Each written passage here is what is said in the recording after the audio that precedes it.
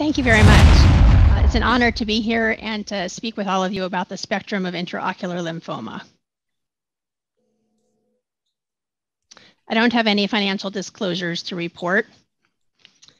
And this is an actual email that I received from a journal editor some years ago asking me to write a review on this subject.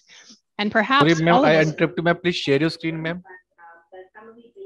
Your slide is not visible, madam. Give me one second here. Roger.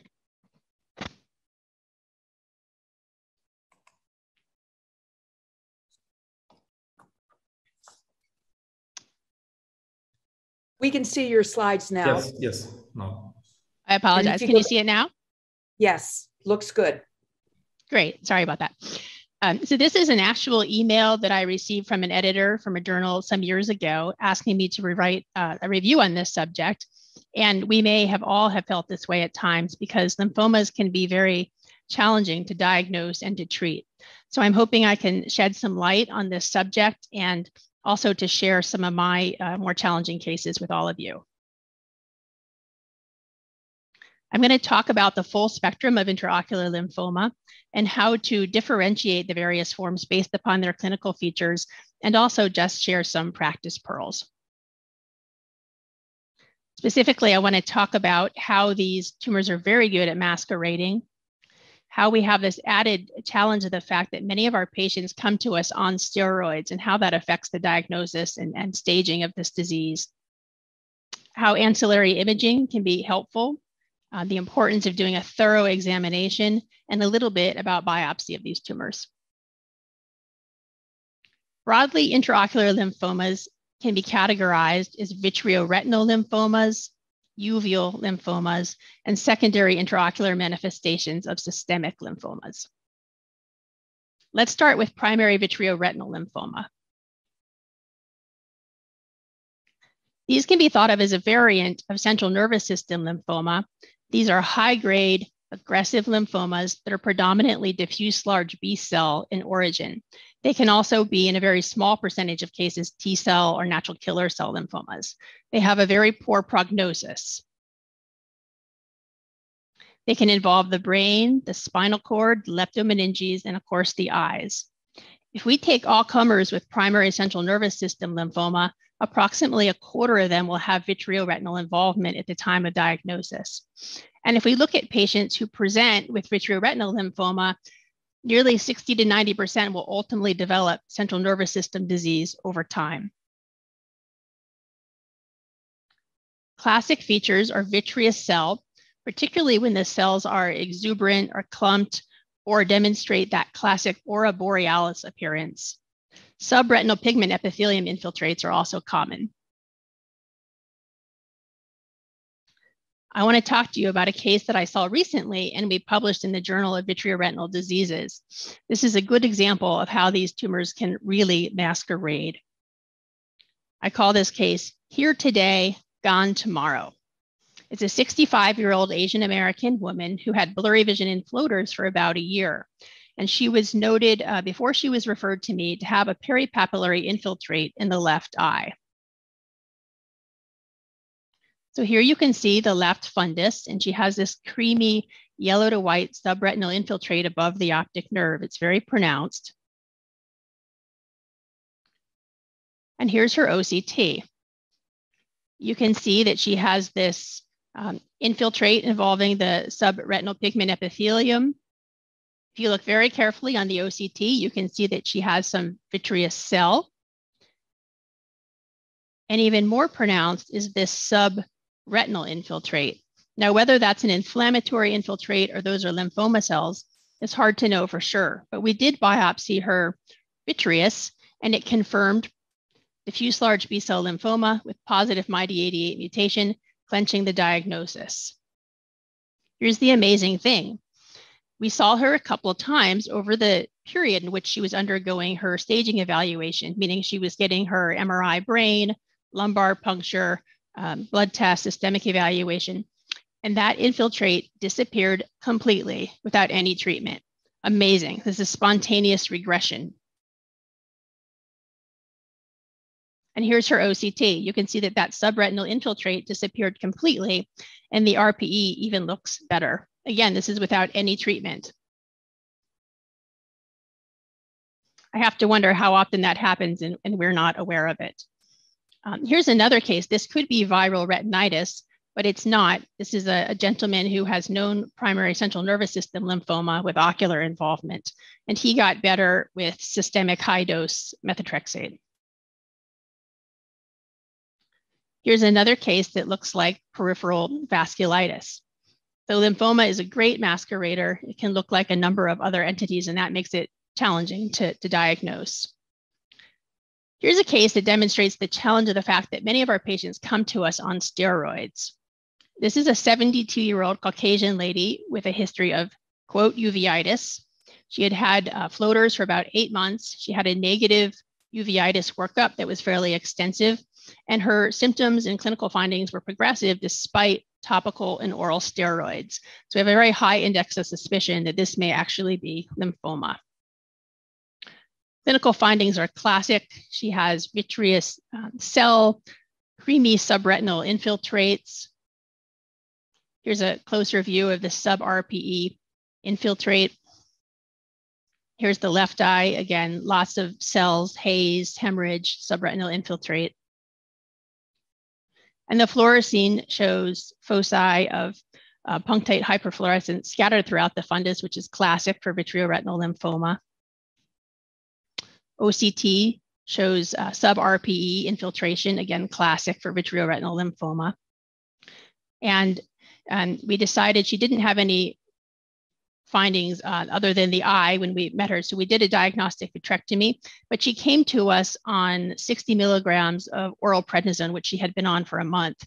So we tapered her off of that rapidly before we did her vitrectomy, and we got positive cytology on the first try. This was atypical lymphoid infiltrate consistent with a diffuse large B cell lymphoma and a positive MYD88 mutation.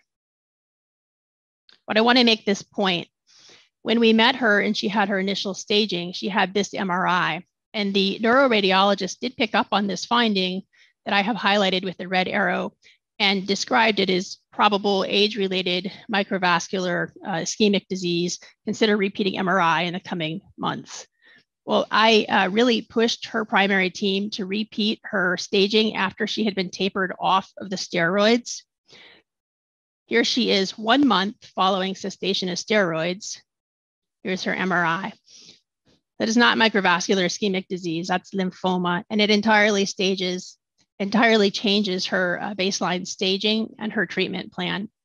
Furthermore, they also repeated her lumbar puncture, and that showed atypical lymphocytes concerning for involvement of her known diffuse large B cell lymphoma. So she doesn't have vitreoretinal lymphoma. She has bilateral ocular disease, brain, and CSF findings. That really changes her management, and it's so important to recognize the lympholytic uh, effect that steroids can have on these patients. So let's change gears and talk about uveal lymphoma. Uveal lymphoma, also a non-Hodgkin's lymphoma of B-cell origin, tends to be more indolent with a better prognosis. The majority of cases are extranodal marginal zone, although they can be other subtypes, and these are very low-grade lymphomas. Ancillary imaging can be very helpful. Here's a case demonstrating that. It's a 48 year old Caucasian male who had had fluctuating vision in the left eye for two years and good vision. The fundus shows lobular, creamy choroidal infiltrates scattered throughout the fundus. And I love how ICG just highlights those infiltrates and makes them really uh, stand out. I like to do ultrasound in both the affected and the fellow eye because in addition to seeing choroidal thickening, sometimes we see these areas of extrascleral extension with have, have a predilection for being near the optic nerve. And that provides an additional site for biopsy, particularly when these flat uh, lobular choroidal infiltrates are really not amenable to biopsy and doing choroidal biopsies in general has a high complication rate. So this is just an additional site of biopsy, something to think about. Here's the correlate with neuroimaging. You can see the extrascleral extension. And here's another similar case. 68-year-old Caucasian male, He had elevated pressure in the right eye for a year. He has these creamy choroidal infiltrates, more pronounced in the left eye. The ICG highlights those areas of infiltration within the choroid. And the ultrasound shows diffuse choroidal thickening and also a substantial area of extrascleral extension near the optic nerve. So this is where I like to pause when I'm speaking to the residents and fellows and ask what they think that we should do next. And they will often enthusiastically point out that this is an area that we can biopsy. And I say, that's right, but we didn't. Because when we lift his eyelid, he had this salmon patch, and that's much easier to biopsy. So it's just very important um, to be very thorough when examining this patient, these patients.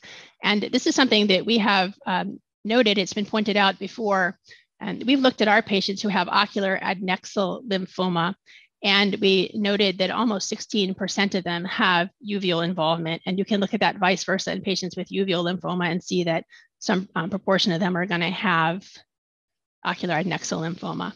And Arun Singh has published on this too, that really we can think of uveal lymphoma as a variant of ocular adnexal lymphoma.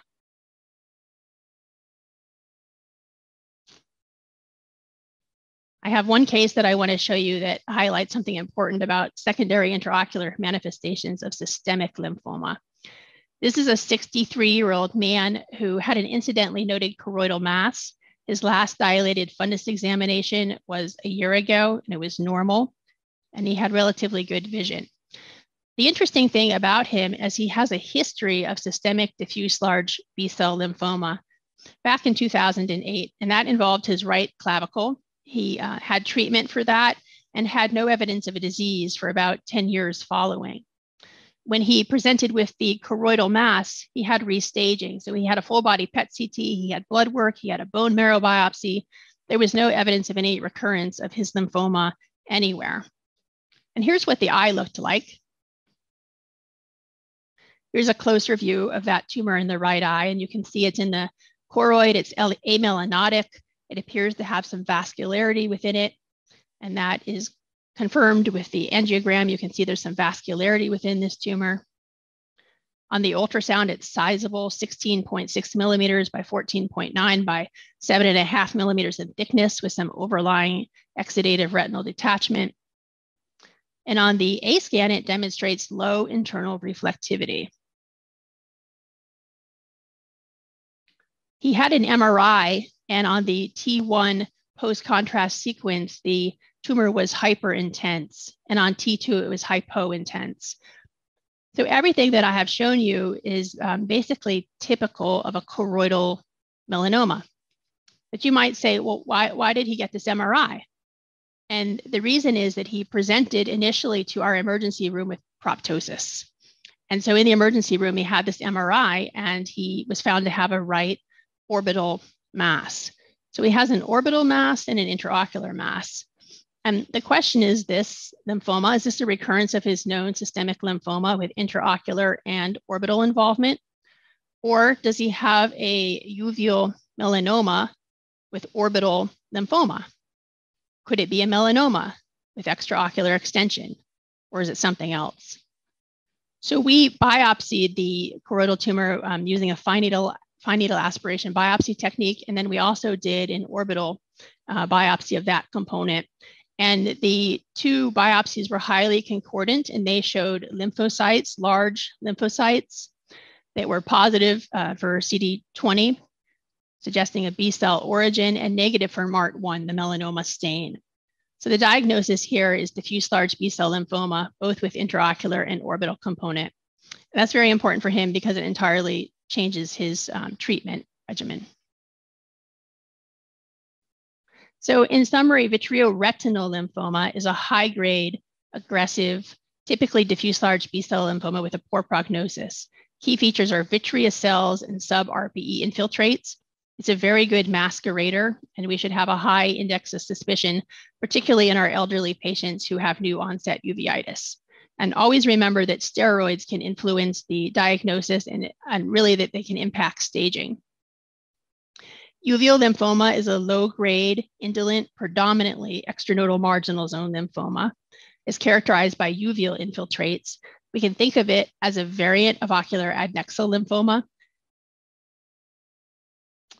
And just remember that within this spectrum of intraocular lymphoma, each one has distinct clinical features and that they can be differentiated. Always do a thorough ophthalmic examination. Um, ancillary imaging is very helpful. Systemic evaluation and always collaborate with your oncology teams when treating these patients. Um, and speaking of collaborators, I just want to thank all of the um, the oncologists, my ophthalmology colleagues, our pathologists, ultrasound team, um, who have worked with me on these cases and, and, and shared their expertise with me. Thank you.